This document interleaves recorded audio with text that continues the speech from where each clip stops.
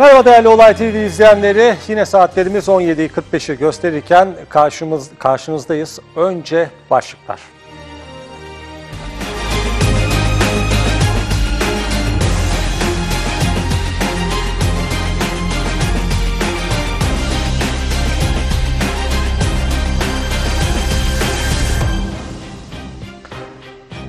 Evet başlıklarda ne var bakalım hemen bir çırpıda aktarmaya çalışalım. Otur oturduğun yerde Cumhurbaşkanı Recep Tayyip Erdoğan Kuzey Irak Kürt yönetiminin referandumuna yine değindi. Yine uyarılarını yaptı ve Barzani'ye bu kez çok net ve sert mesajlar verdi. Otur oturduğun yerde dedi Barzani'ye devlet yönetmek kabire reisliğine benzemez şeklinde bir ifadede bulundu Cumhurbaşkanı Erdoğan. İlk adım atıldı. Başlıkta haberde Başbakan Binali Yıldırım'ın açıklamalarında gizli. Nitekim Başbakan Binali Yıldırım bugün gazetecilere yaptığı açıklamada KDP'nin Ankara temsilcisinin Türkiye'ye dönmemesini istediklerini resmen söyledi sevgili izleyenler. Türkiye'ye heyet göndermek e, istiyoruz. Bu da e, bir başka haber. Kuzey Irak Kürt yönetiminden gelen bir haber. Türkiye ile diyalog kurulması gerektiğini ifade eden bir e, açıklama. Kuzey Irak Kürt yönetiminin Dışişleri Bakanlığı sözcüsünden bir e, istek bu, talep bu. Ancak kuvvetle muhtemel Türkiye'den red cevabı gelecektir. Dışişlerinden Türklere uyarı, Kuzey Irak'a yönelik uçuş, e, uluslararası e, uçuşların yasaklanmasına e, dönük uygulama başlıyor sevgili izleyenler. Ve Dışişleri Bakanlığı da Kuzey Irak'taki Türklere bir an önce ülkelerine geri dönmelerini e, şeklinde bir uyarı yaptı. AK Parti'nin adayı Mevlüt Uysal Gözler İstanbul Büyükşehir Belediyesi'nde nitekim oylama şu sıralar devam ediyor. Kadir Top Kadir Topbaş'tan boşalan İstanbul Büyükşehir Belediye Başkanlığı'na kimin oturacağına dair soru işareti bugün giderildi diyebiliriz. Cumhuriyet Halk Partisi belediye başkan adayını Ekrem İmamoğlu olarak açıklamıştı Beylikdüzü Belediye Başkanı. Bugün de AK Parti ilan etti adayını. AK Parti sevgili izleyenler bah, e, e, Başakşehir Belediye Başkanı Mevlüt Uysal'ı aday gösterdiklerini söyledi. Hemen hatırlatalım şu sıralarda devam ediyor oylama İstanbul Büyükşehir Belediye Meclisi'ndeki bir süre sonra İstanbul Büyükşehir Belediyesi'nin yeni başkanı belli olacak. Ve 171 şüpheli hakkında iddianame başta eski genel başkan, eski Cumhuriyet Halk Partisi eski genel başkanı Deniz Baykal olmak üzere MHP'li eski yöneticilere kaset komplosu kurdukları iddia edilen FETÖ ile bağlantılı polislerle ilgili iddianame hazırlandı. 171 şüpheli yargılanacak bu iddianameye göre ve yaz saati uygulamasına devam. Bu da günün öne çıkan önemli haberiydi. Nitekim bugün Berat Albayrak Danıştay kararının ardından yeni bir kararla yaz saati uygulamasına devam edileceğini mahkeme kararının usulen e, bir e, düzeltmeyi gerektirdiğini ifade etti. Hemen yeni bir düzenleme yapıp yaz saati uygulamasına devam edeceklerini ilan etti. Başlıkları bu şekilde özetleyebiliriz. 19 ana haber bülteninde daha detaylı haberleri ve daha fazla haberi izleyeceksiniz. Biz şimdi bizim seçtiğimiz haberleri yorumlamaya çalışalım sevgili izleyenler. Öne çıkan haberler bölümüne geçiyoruz.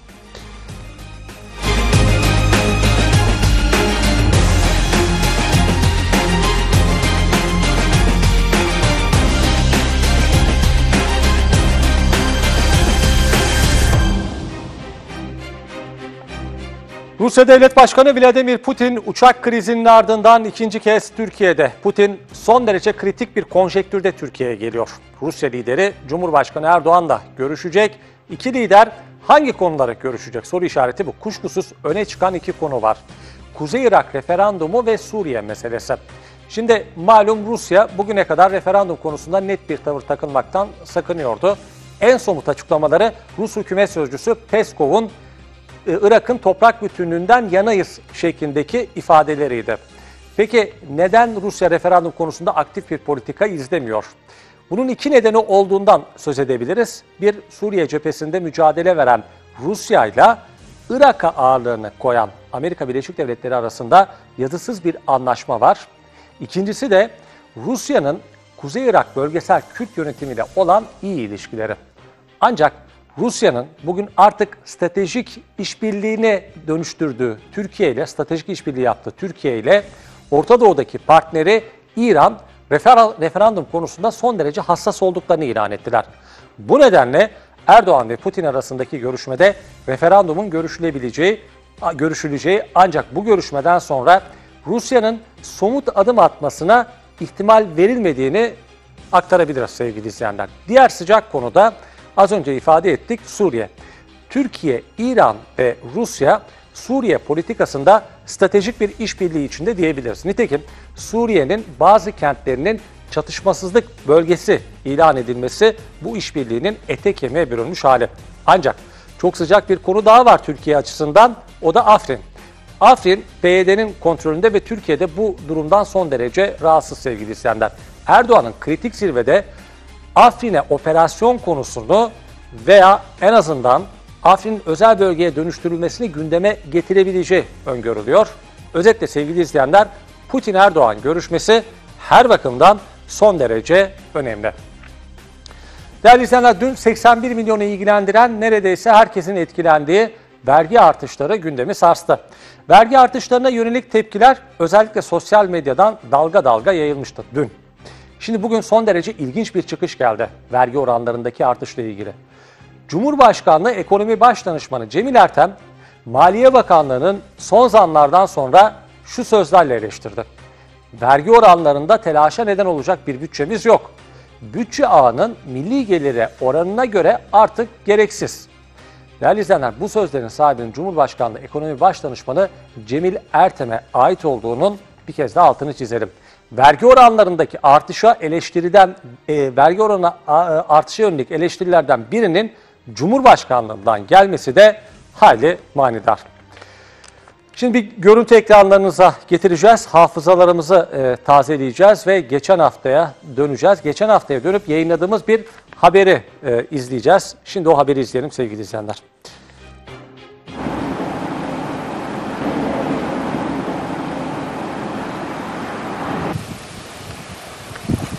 Bursa Karacabey'de oturuyor. Susurluk, Susurluk'tan bu aşağı 3 gündür balık ölümleri dehşet bir şekilde var. Çıkın yukarı kilo, 10 kilo, 20 kilo, 30 kiloluk balıklar var. Yazıktır, günahtır. Bu memleketimizin bakın buyurun dereye. Ha. Derede akan suya bakın. Kurbağa yaşamaz burada kurbağa. Değil balık. Şu balık ölümlerini çıkın yukarı görün. Kilolarca, tonlarca balıklar var.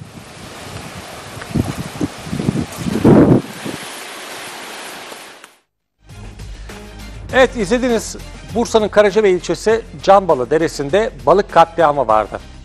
Biz o gün İl Çevre Müdürlüğü'nün konuyu araştırmak üzere numuneleri Balıkesir Çevre İl Müdürlüğü'ne gönderdiği bilgisini paylaşmıştık. Nitekim balıkları öldüren kirliliğin Balıkesir'de faaliyet gösteren fabrikalar olduğundan şüpheleniliyordu. Bu artık şüphe değil, kesin. Öyle ki Bursa Valisi İzzettin Küçük bugün konuyla ilgili başlattıkları soruşturmanın tamamlandığını balık ölümlerine neden olan fabrikanın Balıkesir sınırlarında olduğunu ifade etti. Vali Küçük isim vermemiş ama söz konusu fabrikanın bir süre önce üretime yeniden başlayan bir tesis olduğu iddia ediliyor sevgili izleyenler. Ölümlerin nedeni belli olduğuna göre de tedbir de alınacaktır. Bu da iyi bir gelişme. Uyuşturucu ile ilgili tam 3 haberimiz var bugün sevgili izleyenler. Önce Antalya'ya uzanıyoruz. Antalya'da uyuşturucuyla mücadele konusunda düzenlenen Narkotik Suçlarla Mücadele Daire Başkanlığı ve Antalya Emniyet Müdürlüğü'nün düzenlediği uyuşturucuyla mücadele sempozyumunu gösteriyor. İşte bu fotoğraf sevgili izleyenler. Bu fotoğraf görüyorsunuz neredeyse bomboş bir salonu resmediyor. Bursa'da da uzun yıllar görev yapan Antalya Emniyet Müdürü Celal Uzunkaya, vatandaşlara açık olmasına rağmen sempozyuma katılımın az olmasını üzüntüyle karşıladığını belirterek İçeriye girerken zorlanır mıyım, koltuk araları hep dolmuştur diye ümitle beklerken dünden daha az katılımı görünce üzüldüm demiş.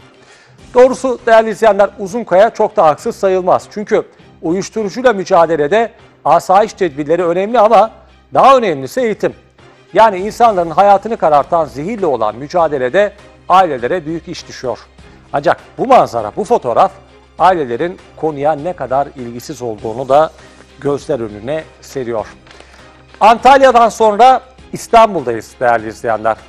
İstanbul'da uyuşturucu tacirleri şeytanın bile aklına gelmeyecek bir iş yapmaya kalktı ancak yakayı ele verdiler değerli izleyenler. Zanlılar uyuşturucuyu yurt dışına kaçırmak için son derece ilginç bir yönteme başvurdular. Ne mi yaptılar? Onlarca kiloluk uyuşturucuyu mobilyaların içine gizlediler sevgili izleyenler. Ancak İstanbul Emniyet Müdürlüğü Narkotik Şube mobilyalar yurt dışına çıkarılmadan dakikalar önce operasyon yaptı ve zanlıları kıskıvrak yakaladı. İşte izliyorsunuz görüntüleri sevgili izleyenler. Mobilyaların içine gizlenmiş uyuşturucuları böyle e, polis tespit ediyor. Ve Bursa'daki uyuşturucu operasyonu. Tam 1500 polis katıldı narko huzur operasyonunda. Bursa Emniyet Müdürlüğü'ne bağlı özel harekat ekipleri ve zırhlı araçların destek verdiği operasyonlarda çok sayıda adrese baskın düzenlendi. Zırhlı araç ve narkotik köpeklerinin de yer aldığı operasyonda çok sayıda adrese eş zamanlı olarak baskın yapıldı. Ekipler 36 farklı noktada arama noktası kurdu. Sokak araları, park bahçe, okul çevrelerinde dolaşan şüpheli şahıslar üzerinde arama ve GPT sorguları yapıldı.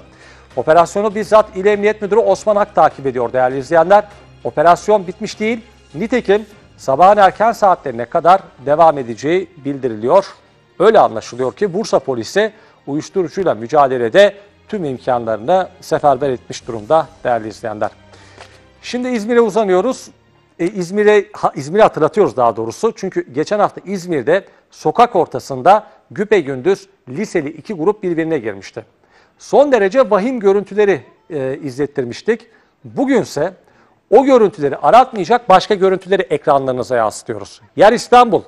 Olayın geçtiği okul Bakırköy'de bulunan bir lise sevgili izleyenler. Okulda inşaat işi yapan işçilerin bir gün önce okuldaki kız öğrencilere laf atmasının ardından öğrenciler ve işçiler arasında tartışma yaşandı. Tartışma araya giren öğretmenlerin sayesinde büyümeden yatıştırıldı önce. İnşaat işini üstlenen firma yetkilileri de yaşanan olayın ardından okulda çalışan işçileri değiştirdi. Ancak ertesi gün okulda öğrencilerle işçiler arasında yeniden tartışma çıktı. Tartışma kısa sürede kavgaya dönüştü. Kavgada bir öğrenci işçilerden birinin tornavida darbesiyle yaralanırken bir öğrenci de elini cama vurarak kendisini yaraladı değerli izleyenler. İşte o anlar an be an cep telefonu kameralarına yansıdı. Bakın görüntülerde inşaat işçileri ellerinde fayanslar ve tornavidalarla öğrencilere saldırıyor sevgili izleyenler. Ve okul bir anda karışıyor. Geçen hafta da Bursa'da bir okulda öğrenci velisi elini kolunu sallaya sallaya sınıfa girmiş ve öğretmeni bıçaklamıştı. Sonuç şiddet maalesef okullara kadar girdi. Şimdi şiddetin okullara daha da vahimi ilkokula kadar girdiğini gösteren bir başka haberi aktaracağız.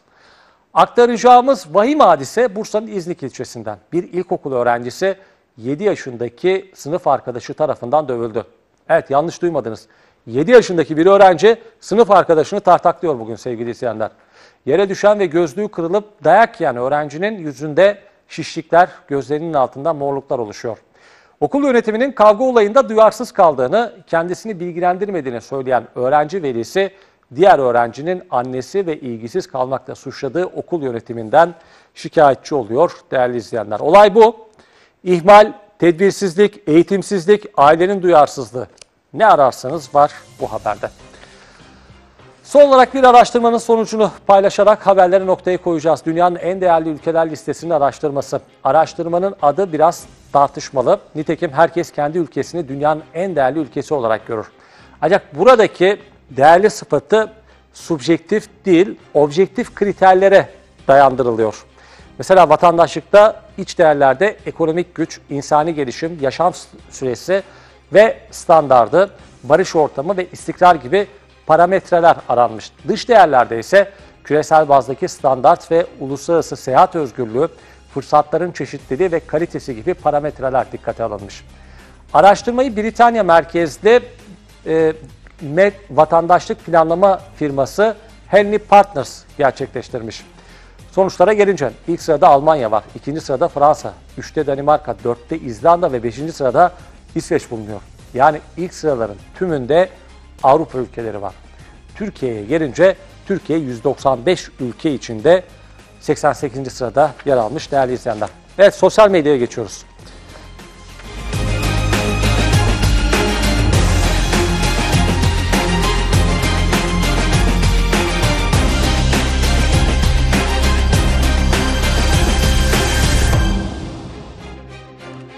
Evet, sosyal medyada günün konusu aslında dünün de konusuydu, bugünün de konusu oldu. Motorlu taşıtlar vergisine gelen yüzde 40 e, artış. Sadece motorlu taşıtlar vergisinde değil, başka kalemlerde de vergi artışı vardı. En çok ses getiren motorlu taşıtlar vergisindeki artış oldu. Birkaç tweet paylaşmak istiyorum. Halk olarak her yeri vergi dairesi olarak görüyoruz. Vergi demek kaynak arayışı, arayışı demek. Lakin bu kaynak hep vatandaş olmamalı, olmamalı demiş bir kullanıcı. Ve günün bir başka konusu. Bunu özellikle sosyal medyaya e, e, taşıdık sevgili izleyenler. Sosyal medyada bir hayli yankı bulmuş. Zaten haberi de olayın kahramanı sosyal medyadan duyurmuş. Behzat Ç. kitaplarının yazarı. Emrah Serbest sevgili izleyenler. 22 Eylül'de 6 gün önce bir kazaya karıştırmıştı, karışmıştı adı. Bir baba ve bir kız ölmüştü o kazada. 6 gün sonra Emrah Serbest o aracı kullanan, iki kişiyi öldüren o aracı kullanan kişinin kendisi olduğunu itiraf etti. Bugün Twitter hesabından ardından e, savcılığa gidip teslim oldu sevgili izleyenler ve son dakika gelişmesi Emrah Serbest tutuklandı. Tutuklandı tutuklanmasına ama sosyal medyada Emrah Serbest'in bu ifadesinin samimiyete sorgulanıyor.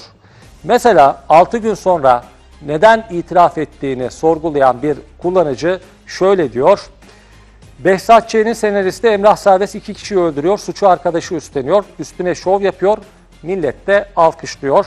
Emrah Serbest kazadan 6 gün sonra itiraf ediyor, alkollü olduğu için müebbet alacaktı. Şimdi kanında alkol kalmadı, kendince uyanıklık yapıyor bir kullanıcı sevgili izleyenler. Kuşkusuz son noktayı yargı koyacak sevgili izleyenler ancak nereden bakarsak bakalım tartışmalı bir konu. Şimdi olay.com.tr'ye geçelim. Olay.com.tr'de hangi haberler en çok tıklanmış ona bakacağız. Otomobilin çarpıp kaçtığı kız hayatını kaybetti. Yol ikiye ayrıldı. Cadde otomobili yuttu ve WhatsApp ihbar attı. Meyvelerini vermeye başladı. Başlıklı 3 haber sosyal e, olay.com.tr'de en çok tıklanan haberler listesinin ilk 3 sırasında diyelim. Ve saatlerimiz 18.03'ü gösterirken Bursa'da yol durumu nasıl hemen göz atalım. Evet her zamanki gibi bugün de İzmir yolu Ateevler güzergahına bakıyoruz. İzmir yolu Ateevler güzergahının gidiş ve geliş yönünün açık olduğunu belirtebiliriz. Evet, Büyükşehir Belediyesi Stadyumu Acemler Mudanya Kavşağı böyle geniş açıdan bakalım. Bursa'nın Bursa trafiğinin en çok sıkıştığı alanlardan birisi burası. Saatlerimiz 18.03'ü gösterirken her iki tarafta da bir yoğunluk olduğunu görüyoruz sevgili izleyenler. Tepeden baktığımızda o yoğunluğu daha çok görme imkanımız, geniş açıdan baktığımız zaman o yoğunluğun çok daha fazla olduğunu görüyoruz. Özellikle İ- Mudanya yoluyla İzmir yolunun kesiştiği noktalarda ciddi yoğunluk var. Özellikle İzmir yolundan geliş tarafının çok yoğun olduğunu söyleyebiliriz. Sıra meşeler, sıra meşelerde Mudanya ve İzmir yoluna gidişin çok fazla trafik yoğunluğuna trafik Mudanya ve İzmir yolunda trafik yoğunluğunun olmadığını ancak Bursa istikametine doğru Ankara yoluna doğru ciddi bir trafik olduğunu görüyoruz sevgili izleyenler. Saat 18.04 itibariyle çok ciddi bir yoğunluk olduğunu buradan rahatlıkla söyleyebiliriz. Ve Bursa'nın merkezinden bir yer Merinos Osman Gazi Belediyesi önü. Burada da bir yoğunluk var. Ancak az da olsa akan bir trafik söz konusu. Ve Ankara yolu trafiği, daha doğrusu kent meydanı trafiği diyebiliriz. Yani, e, Ankara yolu yeni belediye hizmet binası tam olarak adlandırırsak. Burada da çok sıkışık olmayan bir trafik olduğunu görüyoruz sevgili izleyenler. Özel araçlar, toplu ulaşım araçlarını görüyoruz. Yakın çevre yoluna göz atalım hemen. Yakın çevre yolunun Ankara Konseyi bulvarında rahat bir trafik var. Her gün olduğu gibi, her gün bu saatlerde çevre yolunda, çevre yolunun bu bölümünde rahat bir trafik olduğunu görüyoruz. Çevre yolunun Soğanlı tarafında da çok akan bir trafik var sevgili izleyenler. Akıcı bir trafik var. Akom'da da çok akan e, trafik akıyor sevgili izleyenler. Hatta birkaç araç görüyoruz. Oldukça rahat bir trafik var yakın çevre yolunda. Diğer bölüm diğer güzergahlara göre burada rahat bir trafik var. Esentepe Mudan yolunda da sevgili izleyenler özellikle kavşağın üst kısmının yoğun bir kavşağın üst kısmında yoğun bir trafik olduğunu görüyoruz. Esentepe Mudan yolunda ve FSM Bulvarı sevgili izleyenler FSM Bulvarı'nın her iki yönünde de rahat bir trafik var sevgili izleyenler. Saatlerimiz 18.06'yı gösterirken trafik çok rahat. Çekirge Meydanı sıkışmış ama Çekirge Meydanı'nın kavşak bölümünde trafiğin bir hayli sıkışık olduğunu işte bu görüntülerden rahatlıkla anlayabiliyoruz. Altı Parmak Meydanı, Altı Parmak Meydanı'nda da akıcı bir trafik var sevgili izleyenler. Son görüntülerimiz ise Atatürk Caddesi'nden olacak. Atatürk Caddesi, Ulu Cami önü işte gördüğünüz gibi rahat bir trafik var ama şu e, özellikle tramvayın olduğu bölümlerdeki dikkatinizi çekiyor mu? Görüyor musunuz sevgili izleyenler? Araçlar park etmiş durumda. Başka park edecek yer yokmuş gibi. Üstelik yasak olmasına rağmen e, o bölgede park ihlali yapılıyor. Buradan da sesimizi duyan yetkililer varsa park ihlali yapan araçlara dikkatlerini çekmek isteriz sevgili izleyenler. Evet programımız sona erdi. Yola çıkmak e, üzere olanlar için görüntüleri Bursa'nın birçok bölgesinde, birçok noktasındaki görüntüleri ekranlarınıza yansıttınız. Programımız da tamamlandı. Yarın yine aynı saatte karşınızda olacağız. Hoşçakalın.